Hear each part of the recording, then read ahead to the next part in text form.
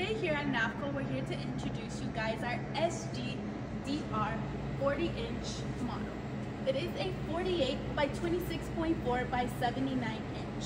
The depth inside is 40 inches, so you have 40 inches of space across to put your products.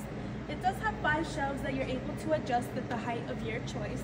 As far as temperature, this fridge does go from negative 7 to 0 degrees Fahrenheit and it does have two swinging doors that are automatically closing so you're able to close it at your convenience.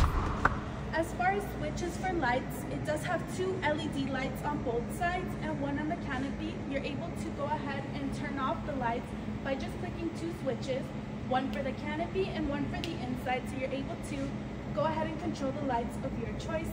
On the bottom you will see four caster wheels so you're able to push the fridge easily and move it into any direction you'd like as far as gas goes, this is the R290 natural gas environmental friendly freezer. So it's great for any seafood, freezer products, or even ice cream for the summer.